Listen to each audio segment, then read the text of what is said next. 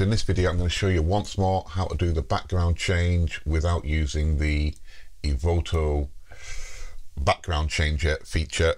It's ideal for shots that are full length like this one all the way to the floor and you want to keep the shadows intact to give it that more of a realistic look because if you use the uh, background changer on a full length image as I will show you now doesn't matter which one you use let's go to that one.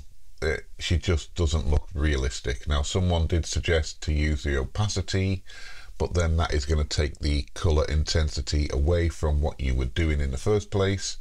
So I'm going to show you a way to give a background change without using this feature. Like I said if you're doing a you know a three-quarter image etc it works well but you need to be able to see the feet shadow area. You could add it again in Photoshop, I guess, but this way it just makes it so much easier. And um, yeah, I'm sure you'll find it super helpful. Anyway, don't forget, like, subscribe to my channel because I do Evoto videos every week, or most weeks anyway, and other software as well. But uh, yeah, I'm sure you'll find this um, very helpful. Okay, so straight into the video. Here we go. So what you do first of all is go to this section here, color adjustments, and then we want to adjust the, you can adjust the picture first to how you want it. So what we'll do first of all is we're going to bring the shadows all the way up, and then we're going to bring the highlights down just a little bit as well to how I want in the image. And if we were going to brighten it up, you know, we'd bring the exposure up as well, just a little bit. I would say to about there and then we can bring the blacks back down as well. This is where the magic happens. What you need to do is go to local, select the background. Now it's just so simple to do. Look, there we go. Change it to a blue, whatever you want, we're going to be able to do it.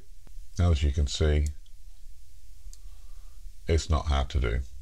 Now, then if you wanted to adjust the intensity of these uh, images, uh, sorry, the, the color, what we could do is go to saturation in the HSL.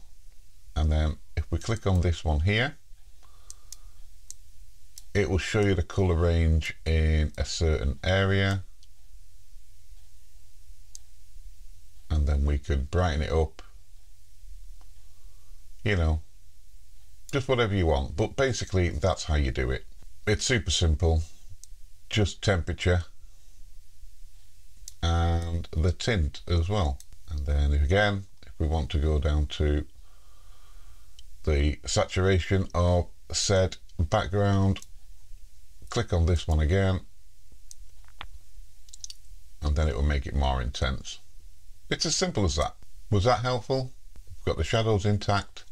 We've changed the background image, uh, sorry, the background color and um, there we go. Yeah, it's as simple as that. Anyway, don't forget, guys, like and follow my page.